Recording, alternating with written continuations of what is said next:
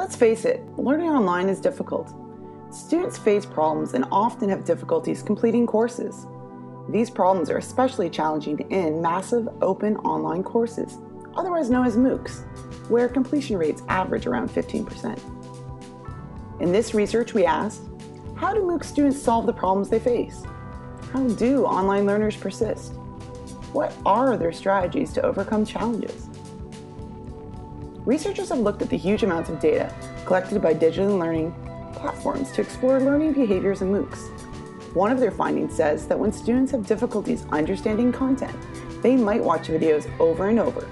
Therefore, watching a video more than once might be a strategy students use to better understand content. But it's not always clear why students watch videos multiple times. For example, students might watch a video twice because the first time they were distracted doing something else.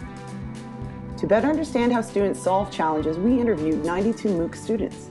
These people were between the ages of 21 to 81, and they were enrolled in four MOOCs. Most of these students were from North America. The rest were from South America, Europe, Africa, Asia, and Australia.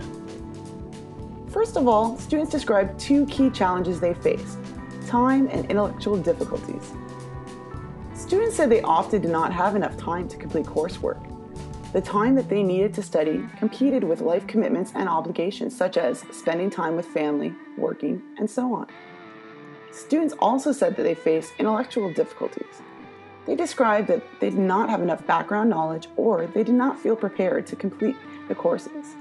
Many said that they underestimated the level of difficulty of the course they signed up for. How do people solve these two challenges? Learners describe four strategies that they use to deal with these challenges. First, they used resources from the physical environment surrounding them. Learners printed readings, read lecture transcripts before watching the lectures, took notes on paper before and during the video lecture, and used multiple devices and modes for learning, such as watching the lectures on a tablet while taking notes on paper. Second, they looked for information and resources outside the course to support their learning inside the course.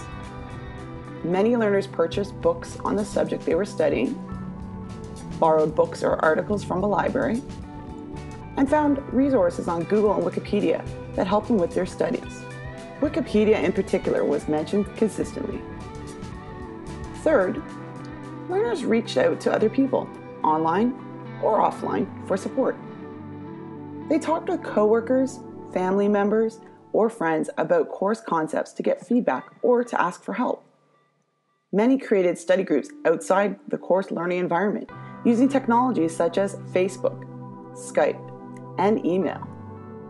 The fourth strategy that students used was perhaps the most interesting. Their strategy was to stop or temporarily pause their efforts in a course. When demands on their time grew, when the course started conflicting with life priorities, or when the subject became uninteresting, learners paused or stopped. Their choice to pause or stop their participation was a strategy that helped them manage their learning. What are the implications of this study for practice? To provide better support for online learners, consider the following actions.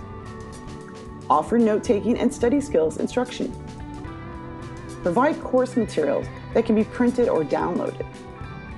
Encourage students to develop a network for support within and outside the course. Create a course map and compass that helps learners find related resources online.